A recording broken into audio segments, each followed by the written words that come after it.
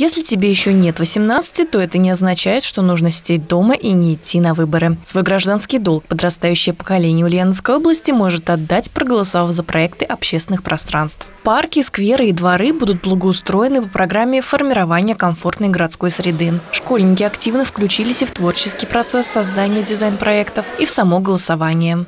Мне не исполнилось 18 лет, поэтому я не могу выбирать участвовать в голосовании главным моей страны. Но я также хочу принимать участие в ее жизнедеятельности, и поэтому голосую в этом голосовании. Я хочу, чтобы в нашем районе э, обновили, может даже восстановили сквер строителей. Я проголосовал за парк семьи, потому что мы там часто гуляем с родителями, мне там очень нравится. Я бы хотел, чтобы этот парк отремонтировали, чтобы его преобразили.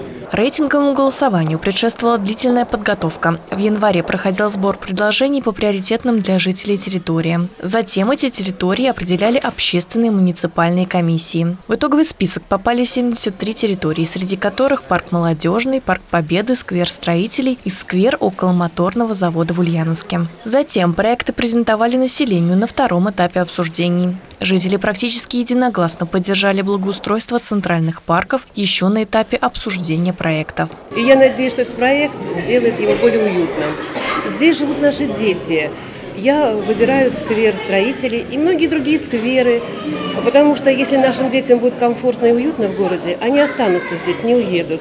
Этап голосования схож с выборами президента. Первоначальное знакомство с дизайн-проектами благоустройства. Дальше избиратели получают бюллетени, голосуют и опускают их в специальный ящик. Я вот э, свой выбор сделал э, на территории моторного завода, там где коробка э, хоккейная. И там, конечно, много ребятишек. Я думаю, чтобы еще лучше там было вокруг. И, и я вот этот выбор сделал.